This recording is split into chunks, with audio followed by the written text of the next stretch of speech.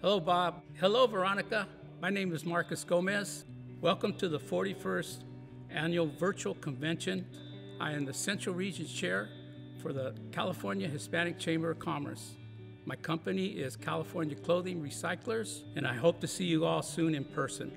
The Central Region is probably one of the biggest regions in, in, in California in our chambers. Uh, we cover from Bakersfield all the way up to Chico. We have quite a few chambers in the in the region. It's, hard for us all to get together, and with the uh, COVID on now, uh, we're meeting virtually through Zoom, and it's kind of brought us all together. As regional chair for the Central Valley, I envision that the role of the, of the chambers in the Central Valley is to uh, make their small businesses more aware of what's going on. Um, the thing about small businesses that I've learned throughout the years being involved with the chamber is that most small businesses, that's the first concern is their business.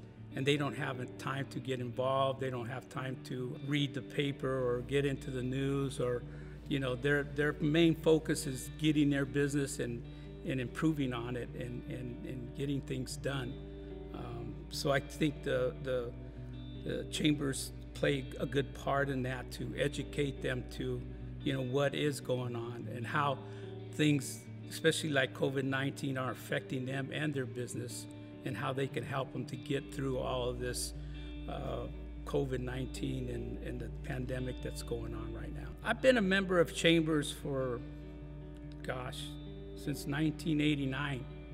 Um, I first started with my father uh, when he was in business, uh, getting on the board. Um, through those years, I saw my father uh, be very involved in the chamber, but never benefited from the chamber. And being involved the, with the chamber helped me get into the doors of your PG&Es, your SMUDs, your AT&Ts. Um, and I tell people all the time, you need to get involved. They need to see you. Um, a lot of these companies, they can bring on, uh, uh, they can have their little um, uh, sessions of uh, MWBE and say, we want to buy from you, we want to buy. A lot of that going into the front door doesn't necessarily work. But if you get involved and you get to know the people at the top, that's what gets you in the door to uh, uh, getting contracts. I've gotten contracts with SMUD, PG&E, AT&T, Campbell Soup, just by being on the board and knowing those people in those organizations. Yeah, I grew up in around small business all my life. Uh, my dad was a small businessman um, for 40 some years. Um, I spun off of him 22 years ago um, because I wanted to do what he did.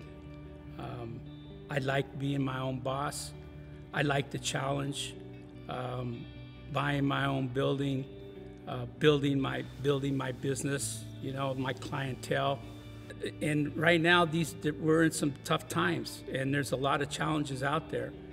And being in 22 in business for 22 years, you know, I, I've met some of those challenges and been able to overcome them. And, uh, and I think through the chambers and through the help of the chambers, that a lot of small businesses can't overcome a lot of those challenges.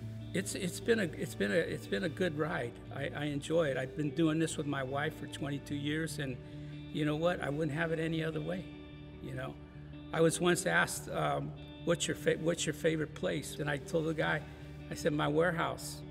And he looked at me and he goes, Really? And I go, Yeah. I mean, that to me, that's my favorite place. I love being in my warehouse.